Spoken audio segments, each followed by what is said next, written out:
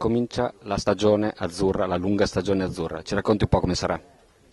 Ma lunga, come hai detto tu, lunga. Sicuramente è la migliore come programmazione in quanto grazie alla vittoria della World Cup ci consente di non avere impegni intermedi. Sì, c'è il Grand Prix che però è un Grand Prix che si può affrontare grazie anche al fatto che nella World Cup sono state molte atlete giovani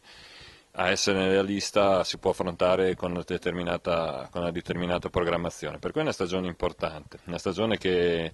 l'idea è stata appunto quella di dividere i due gruppi, con un gruppo che starà sempre in Italia, un gruppo che farà tutto il Grand Prix e un altro gruppo che in pratica si alternerà un pochino all'interno del Grand Prix e del lavoro in Italia.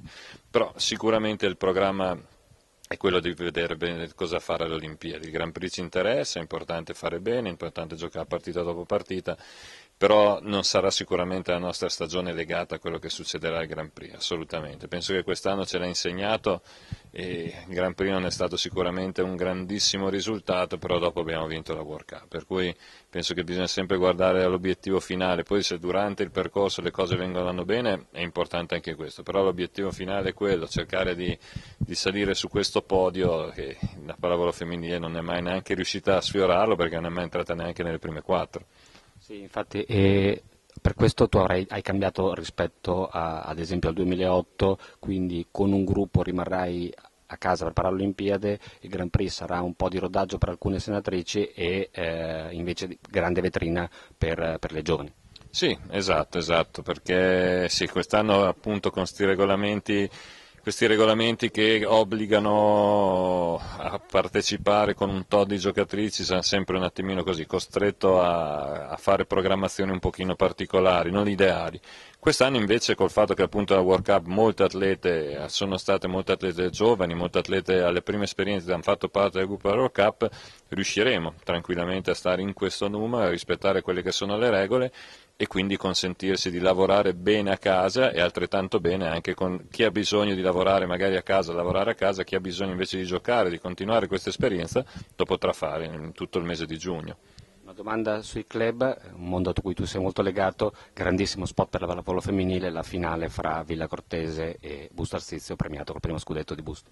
Bah, eccezionale, è stata eccezionale perché non è stata solo la gara 5 ma è stata tutta, tutta la serie, tutta la serie è stata sempre seguita da me di 4-5 mila persone, 4 mila spettatori e questo è importante, questo è importante perché penso che in tutti gli sport, tutti gli sport, non solo nella pallavolo, si sta soffrendo molto questa mancanza di pubblico e la mancanza di pubblico dopo si riflette anche sulla mancanza di, di, di ragazze che poi iniziano a giocare a pallavolo, che si entusiasmano a questo sport. In questo penso che, noi, che, che il nostro movimento abbia dato una grandissima prova, una prova di forza, perché riuscire a riempire per cinque giornate consecutive dei palazzetti grandi, come sono quelli di Monza e di Busto Arsizio, penso che sia un bellissimo risultato e speriamo che sia un punto di partenza, che si uniscono altre, eh, altre società, altre piazze che possano fare altrettanto bene, perché fino a dieci anni fa questo succedeva con una certa regolarità, adesso è un pochino più difficile, però questo sicuramente è stato un passo importantissimo. Ultima cosa, questo soprattutto diventa un merito considerando che il mondo della pallavolo femminile si sta allargando a dismisura, dalla Cina all'Azerbaijan per non parlare del Brasile, della Russia, della Turchia, tutte nuove frontiere. Assolutamente, è sempre più difficile, è sempre più difficile riuscire ad avere un campionato ad alto livello perché ci sono tante superpotenze dal punto di vista economico e adesso non solo dal punto di vista economico perché appunto anche il livello sta aumentando. Prima c'erano magari in tante nazioni dove c'era una squadra, due squadre che offrivano tanto dal punto di vista economico, però andavi a giocare un campionato che si riduceva magari a due partite, tre partite in un anno. Invece adesso anche con la crescita del numero delle squadre di Champions League e con la crescita delle squadre anche forti in questi campionati, sono campionati di altissimo livello, per cui sono appetiti e appetibili per le giocatrici non solo dal punto di vista economico ma anche dal punto di vista professionale. E dunque per l'Italia diventa sempre più difficile, per cui c'è da sperare che,